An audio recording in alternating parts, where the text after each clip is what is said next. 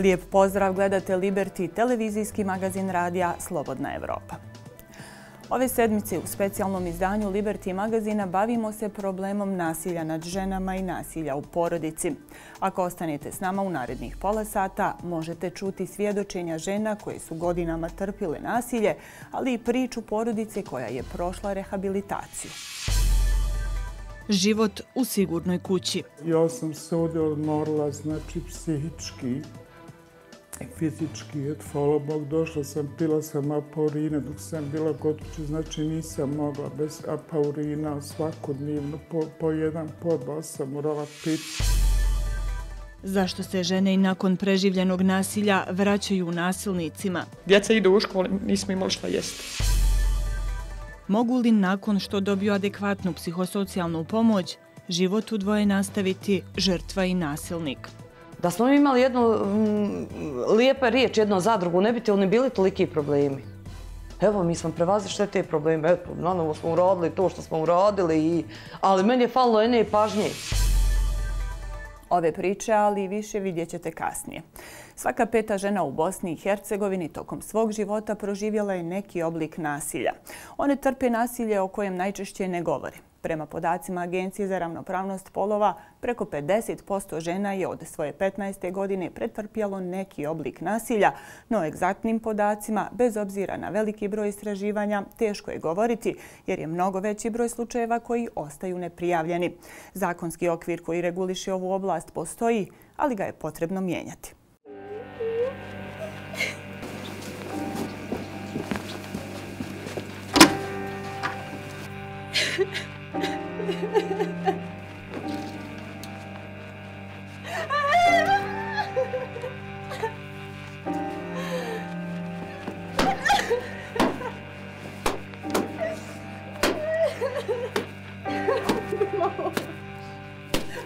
Problem e, pristupa nasilju nad ženama i nasilju u porodici, nažalost u Bosni i Hercegovini je poprilično rastjepka, nesistematski i projektno orijentisan.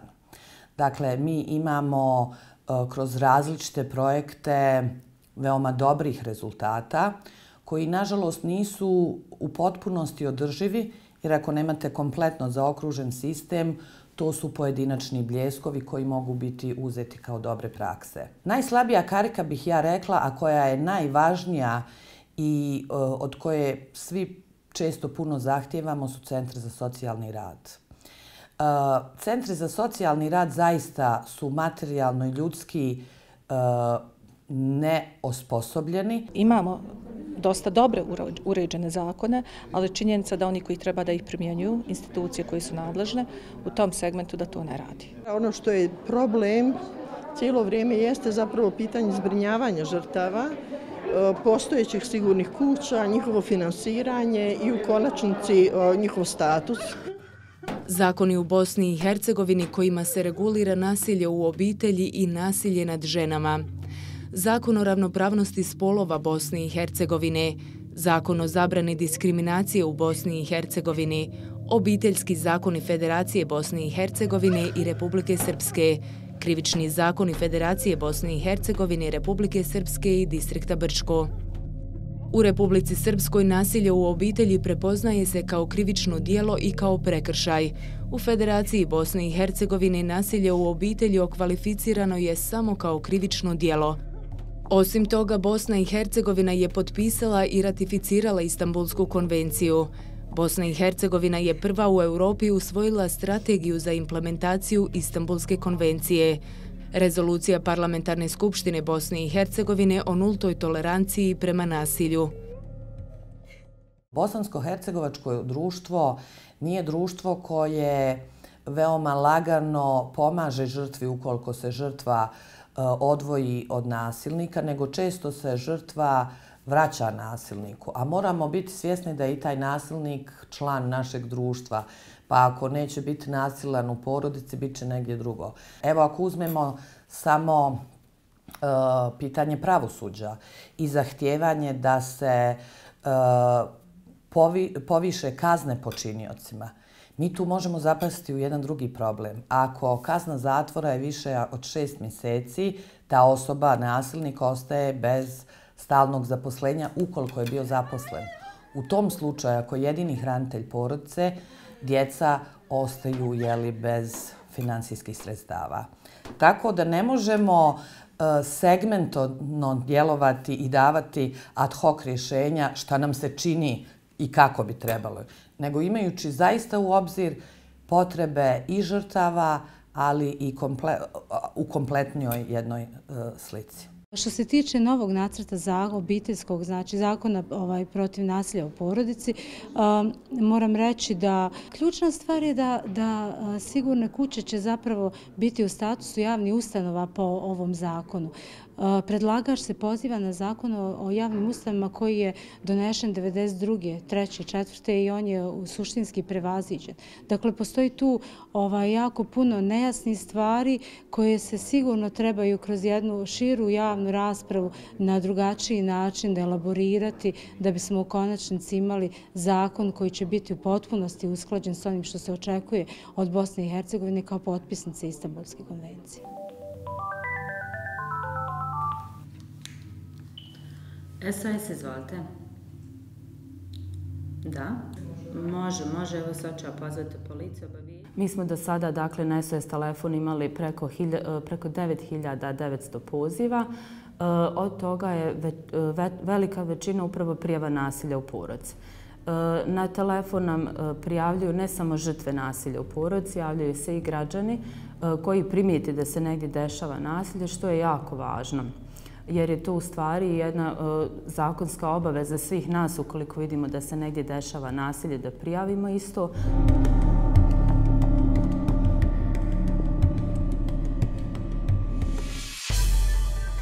U Bosni i Hercegovini, dakle, postoji nekoliko zakona na državnom i na nivou entiteta koji uređuju ovu oblast.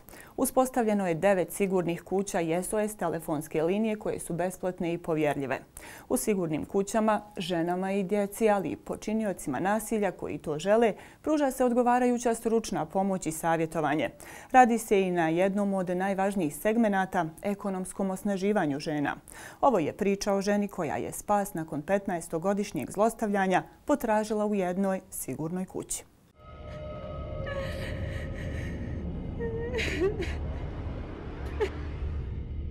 Prvi 15 godina je moglo je se reći nekad mi nako udari, neka šamara mi upali, neka znači onaj, ali to je se moglo izdržati, znači bilo je podnošljivo i onda nakon poslije toga, ono poslije rata, on je onda počeo da pije, e, našo je neko loše društvo, našo je neke žene, onda počeo da mi jednostavno onaj, dovede prijatelje na veće s kojima pije čitavu noć i ja njih moram slušati i onda sutradan ono, on, meni složi kao priču s kim si bila, s kim si spavala, je li ova, je li ona, znači e, to je više ne, ne, neizdrživo bilo. U dan krila sam od djeci, najveće znači Volila sam da, da, da umrem nego da ponovo legnem sa njim, da, da nešto trpim što je nepodnošljivo bilo. Samo mi je žao djeci što sam djeci svoju ostavila, što moja djeca trpi sve to što su trpili. Nisam, a, kako ću se izraziti, ponosna ni na naš policiju, ni na sud. Jednostavno ima tih stvari koje, koje koje ja nisam mogla da izdržim, znači sa, s njihove strane što tiče lično policiji. Oni su ga štitili više i sud i policija i sve. Klijentice u sigurnoj kući, e, pored psihološke pomoći e, i podrške koju dobijaju, imaju medicinsku pomoć, e, zatim pravnu pomoć i pravno savjetovanje, e, zatim kroz e, ekonomsko osnaživanje, odnosno obuke za krojenje, šivenje, tapaciranje i frizerski kurs i manikuru. E, klijentice imaju mogućnost da pohađaju e, navedene kurse u obliku okupacione terapije ili u obliku e, cijelokupnog šestomjesečnog e, kursa, nakon kojeg u stvari dobijaju certifikat o položenom kursu i koji je izdat od Biroa za zapošljavanje i naravno vrednuje se i ulazi u radničku knjižicu, što im samim tim omogućava dodatnu mogućnost zaposlenja i sticanja vještina, da li e, u samostalnom obavljanju poslova za koje su se educirale ili da apliciraju na neka radna mjesta. E, kada klijentica dođe u sigurnu kuću, ono naravno, pored e, logističke podrške, sigurnog mjesta, hrane, osnovne odjeće, obuće higijenskih artikala, nakon perioda stabilizacije i uspostavljenog povjerenja sa klijenticom, ona se uključuje u u individualni psihoterapijski rad. E, naravno, po potrebi u skladu sa njenim potrebama, e, individualnim potrebama, pruža se medicinska pomoć, obavljaju se medicinski pregledi. E, zatim, tokom cijelog boravka klijentica ima tu jednu kontinuiranu podršku u stvari u, u, u svakom uh, pogledu prateći njene individualne potrebe. Ja sam se ovdje odmorila, znači psihički fizički. Et, hvala Bog, došla sam, pila sam apaurine dok sam bila kod kuće, znači nisam mogla bez apaurina svakodnevno, po, po jedan, po dva sam morala piti. E, ovdje kako sam došla, imamo medicinsko osoblje, imamo naše ovi, psihoterapeutkinje koje nam stvarno pomažu i ja im se divim, ja kažem uvijek mogla bi čitav život provesti u ovoj kući, da nikad ne iziđem. Znači, toliko su mi podrške dale. Samo razumijevanje nasilja u stvari od strane uh, žrtava nasilja, žena koje su žrtve nasilja i uh, njihove, njihovog razmišljanja da moraju e, samo zbog djece da se vrati počinitelju nasilja, naravno da radimo u tom pogledu i sa njima i naravno da im pokušavam ukazati na, na, na druge e, mogućnosti i posljedice koje u stvari e, mogu da se dese. Ono što je jako važno napomenuti da žene žrtve nasilja, e, pored toga što su dužne u stvari da poduzmu mjere da zaštite sebe kao žrtvu nasilja, isto tako su dužne da zaštite i svoju djecu. I ono što mi nudimo kada uh, Eh, preživjela nasilja dođe u sigurnu kuću eh, i želi izrazi u stvari želju da se želi vratiti svom mužu, eh, ono što mi u stvari možemo jeste da pozovemo i njenog supruga da dolazi u naše psihološko savjetovanje gdje možemo također zajedno ga uključiti, odnosno njih dvoje uključiti u bračno savjetovanje ili uh, psihoterapiju. Ja sam sad u tim godinama, ali ja bi najvola da se samostalim, da imam svoj neki posao, da sebe mogu zaraditi, da ne ovisim ni o njemu, ni o svojoj djeci, ni nikom, apsolutno. Podaci kažu da se nakon boravka u sigurnoj kući više od 60% žena vrati nasilnicima. Brojni su razlozi, ali najčešće žene žrtve nasilja u porodici nemaju gdje otići iz sigurne kuće, osim u dom u kojem su trpile višegodišnje zlostavljanje. Razlozi su različiti od patrijarhalnog društva u kom ove žene žive, od stida do osude, no jedan od najvažnijih je ekonomska ovisnost o nasilniku.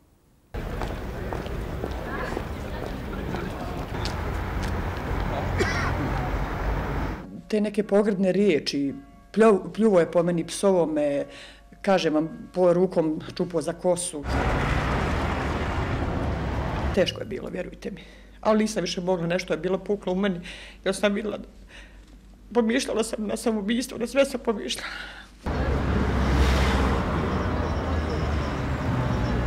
Što je značajno jeste da se žene jako teško odlučuju e, e, da odu od nasilnika. One čak odlaze i po 5, 6 ili ponekad i po 10 puta.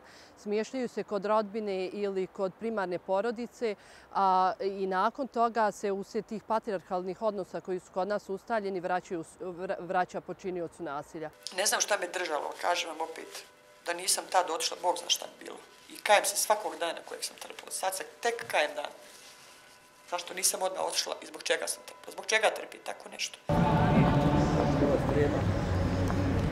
I ono onom momentu kada e, žele da izađu iz te kompletne situacije, ne nailaze na podršku svojoj porodici. Mi moramo reći da imamo veliki broj žena kojima su e, članovi njihove primarne porodice govorili da je njeno mjesto uz muža, da djeca zapravo treba da žive uz e, oba roditelja, i da ona u tom trenutku ne treba ništa da učini da bi promijenila svoju situaciju. Znači, čitav jedan niz stereotipnih e, izjava. Na drugom mjestu e, to je e, ekonomska ovisnost, dakle možemo reći potpuna ekonomska ovisnost o počiniocu nasilja. Dakle, nedostatak finansijskih sredstava je zapravo to što žene tjera da se vrati kod počinioca. Djeca idu u školu, nismo imali šta jesti. Znači, dočekujem djecu da nemam ukući hljeba on je radio i imao je dobru platu. Od 2007. pa do danas nijedna institucija se nije uključila u rješavanje e, e, zaposlenja žene žrtve nasilja. Žene žrtve nasilja nemaju prioritet pri zapošljavanju i nemaju mogućnost da imaju neku vrstu dokvalifikacije ili da, se, da imaju prioritet pa samim tim da mogu pronaći e, posao i pomoć i sebi i djeci. Ta žena se nalazi pred jednom teškom u jednoj teškoj poziciji, dakle da mora da obezbedi i stambeni prostor za svoju djecu i e, novac kako bi omogućila i njihovu egzistenciju, pogotovo ukoliko su djeca školskog uzrasta.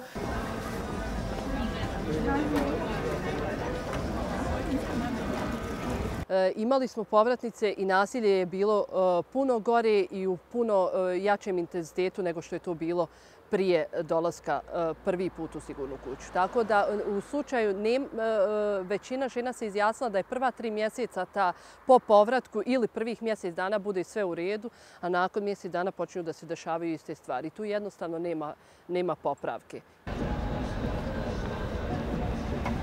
Znači, ni dana niko nije vrijedan toliko truda i trpljenja. Neprospavanih noći, živaca i svega. Ni djecu, pogotovo kad su djeca u pitanju, to to ne znam, ne bi nikome opravdao da to trpi. Ne treba da trpi niko nikoga.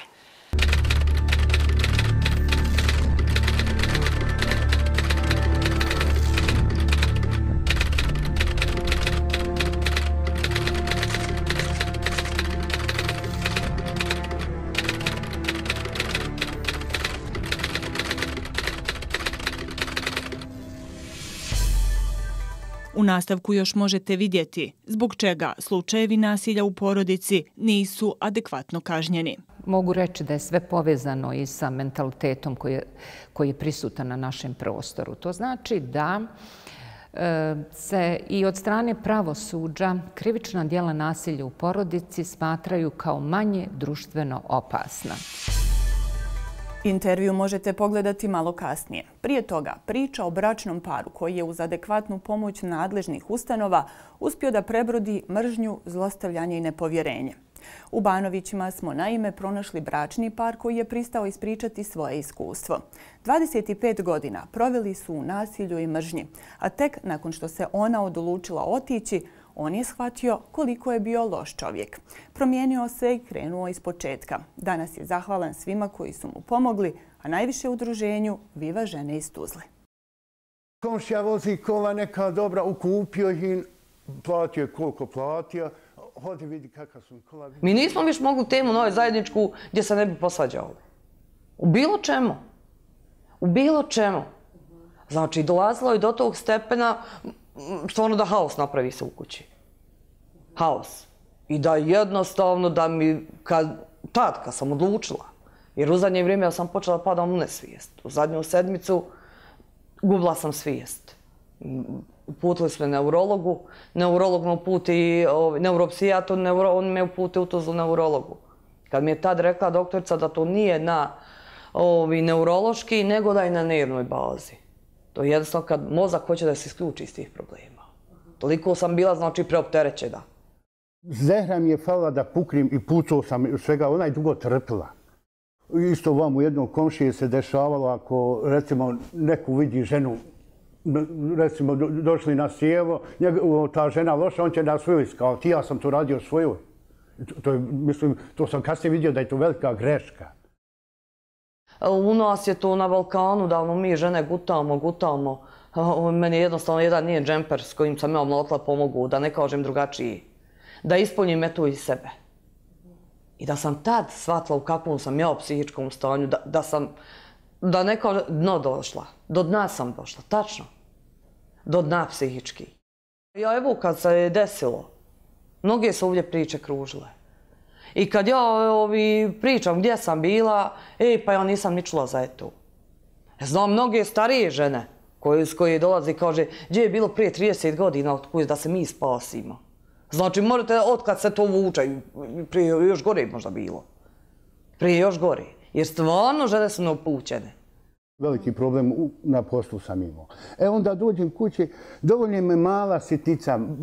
To je tako, kako da se izrazim, to je toliko malo da ja da, da bljesnem, u, znate, da padam u, kako, ne mogu da izgovorim te riječi.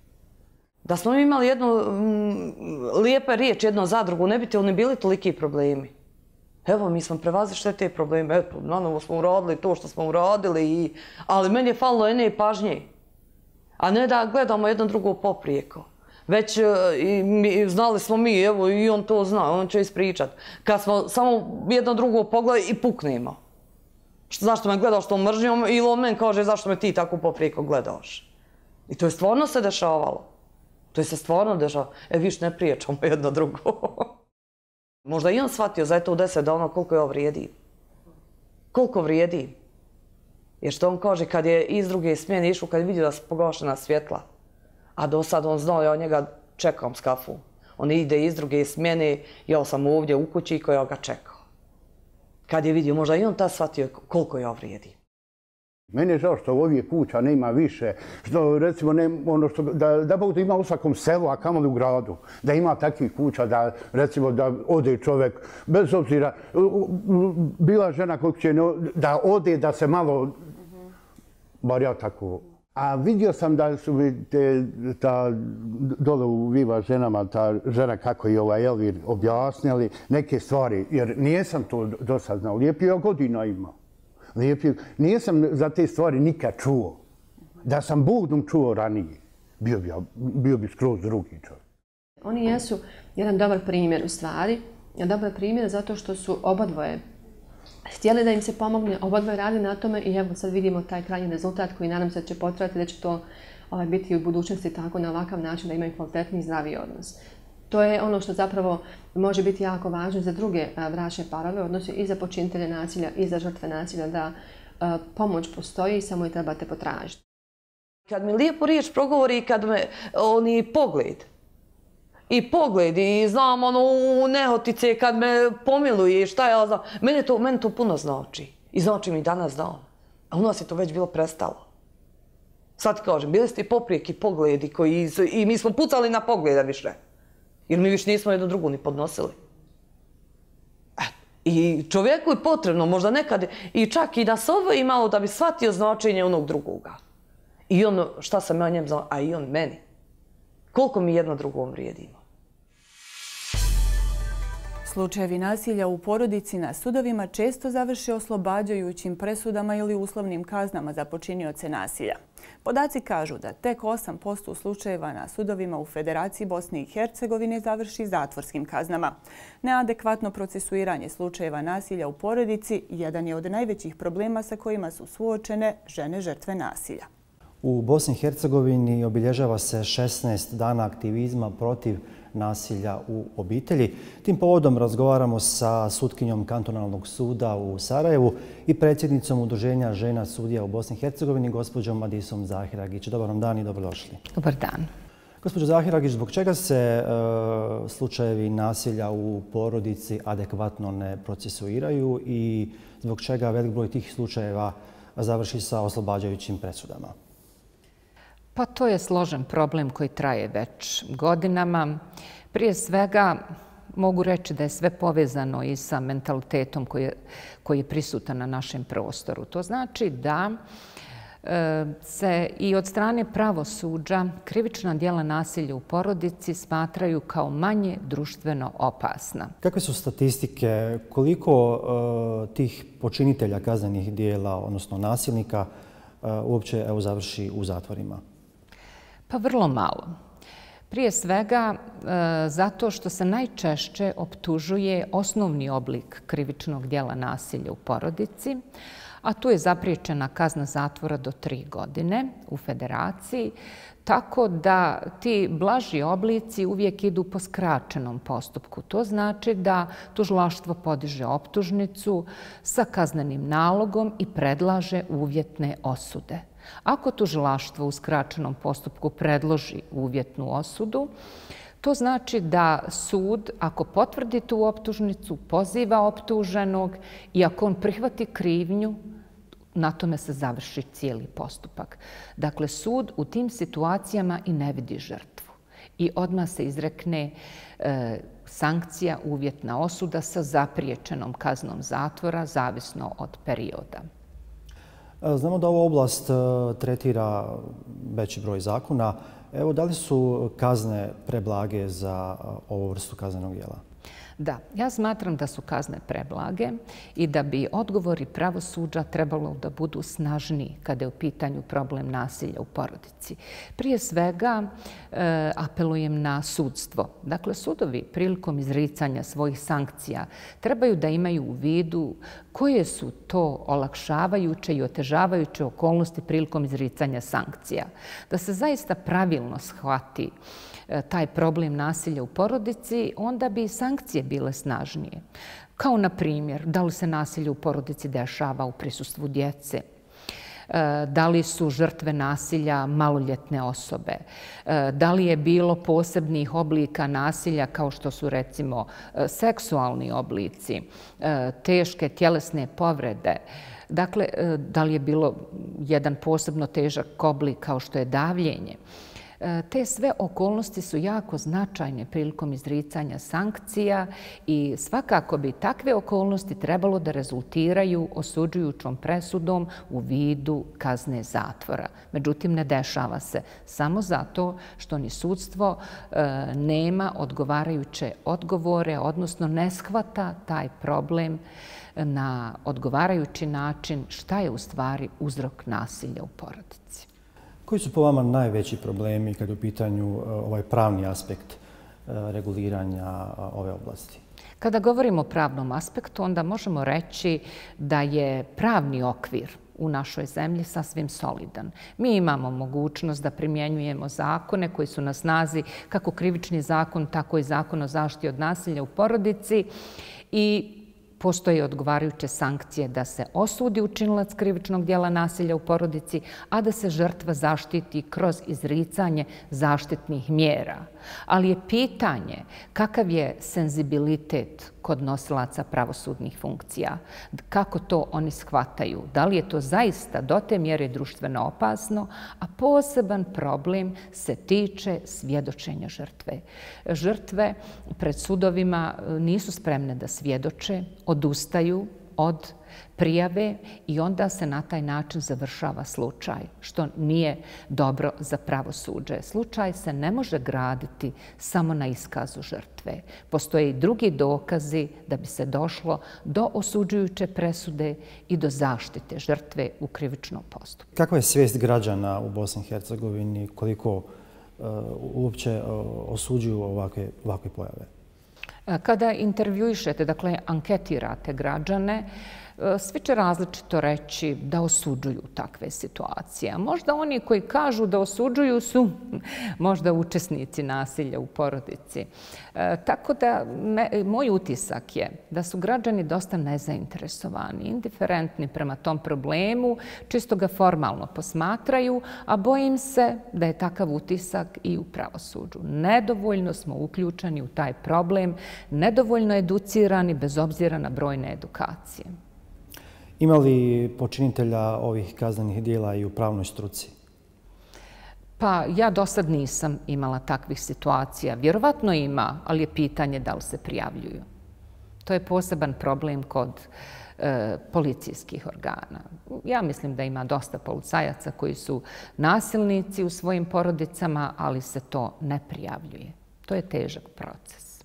Hvala vam puno što ste odvoli vaše vreme za TV Liberty. Hvala na poziv. Gledali ste specijalno izdanje Liberty magazina Radija Slobodna Evropa. Emisiju, ali i ostali sadržaje možete vidjeti na internetu. Adresa je slobodnaevropa.org. Pratite nas i putem Facebooka i Twittera. Lijep pozdrav do naredne sedmice.